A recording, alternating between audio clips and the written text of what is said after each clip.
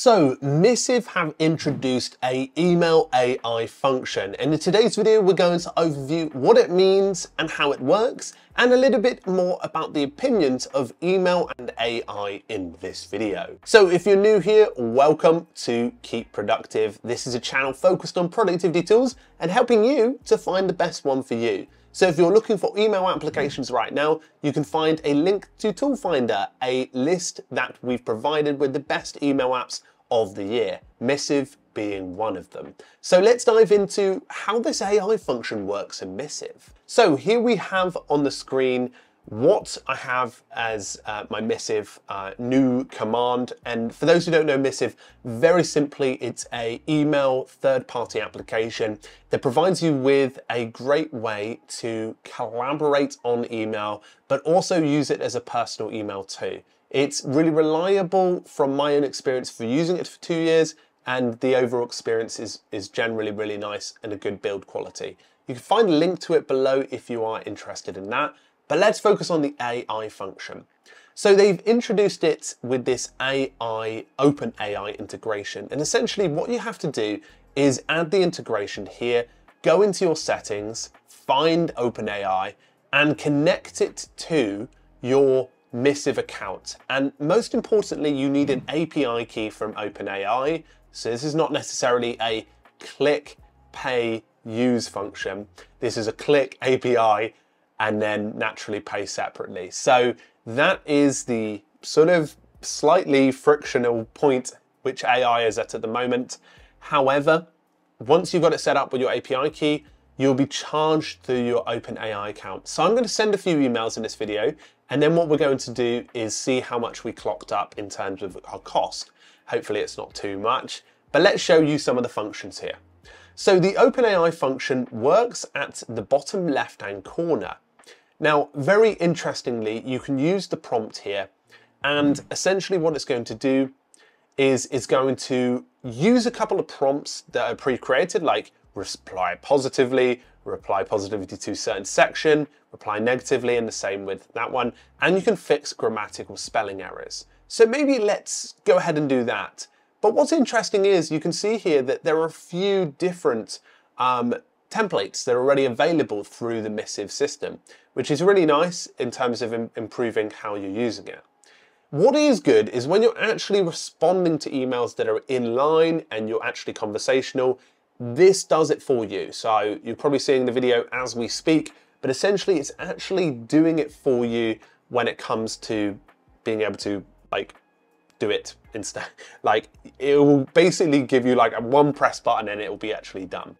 So here I might say something like, let's compose an email about next week's meeting on Tuesday, the 27th, and moving it to Friday that same week, asking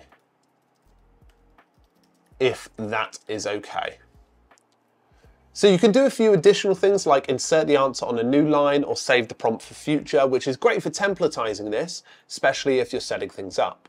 So here we are, I've pressed generate, so this is what I got. Dear team, I hope you're doing well. I want to let you know that next week meeting on Tuesday 27th, uh, I'm moving, I need to move it. Okay, so this is really, really nice. A very simple layout and really gets you started. So that prompt function works quite nicely as well. And what I can do is if I select this bit of text, please let me know if this is not possible and we can work an alternative time. So what it's giving me is it's helping me to fix the spelling grammars so you can select stuff and help to fix the spelling grammars. But in this case, I'm going to, I'm not going to improve the selection. I'm going to associate it negatively. So maybe in this case, I might go, um, make this more aggressive, assertive. That's probably a bit more professional. Make this more assertive and I'm going to go and press generate. So what it's going to do is this, if not possible, please let me know we can work out and okay, that's slightly more assertive. Let's let's play around with this and just say, uh, oh, I've pressed the wrong button. Uh, make this line more aggressive. You know, I'm being silly now, but I'm just giving you good examples of how this can be useful. Okay, that is not even more aggressive but I guess it's slightly more aggressive in, in the work sense, maybe like trying to keep it toned down. So you can start to see how this is useful. So I've done a few different prompts there. Let's go over to OpenAI and see how much this has charged me. Okay, so right now it's not actually charged me anything. However, this is something that I will post in the description below of all of the actions I've done in this video and how much it actually cost me. But largely, I think a lot of this prompting stuff doesn't cost a great deal at the moment for how much it's going to do. Okay, so if you do have an email that you need to respond to using the artificial intelligence technology, you can go over here and translate it there are some prompts naturally that mention it. So one of the things you can do over on the right hand side is actually bring up the OpenAI command area. And this is an interesting area because what it will do is it will help to collect across your account to give it a prompt. So I could say create a email for Sarah this week. So as you can see, what it's going to do is it's going to create that in there. And essentially what I can do is reply with that pretty instantaneously. So you can use the Open OpenAI alongside this stuff, as well as it popping up down here. So this was a, just a snapshot of the technology that are around the Missive AI system right now. It's very primitive in a sense because it's just sort of plug and play and you need an open AI key to do this. But it's a really interesting step forward, especially for email. And to be honest, it's something that I would thought of would have come sooner with email. But I guess there are some privacy concerns and difficulties trying to implement it with email versus a more canvas-based stuff like Craft, Notion, and even Mem. So essentially, my thoughts on email and AI are it's a great matchup, and this is a great example of how a technology like this can be used on a day-to-day basis. And to be honest, let's see what comes out with the price. But to be honest, if it's around uh, a penny for maybe six or seven commands, then that's a reasonable price, especially if you're looking to save time and essentially reply to people in a more fine-tuned manner.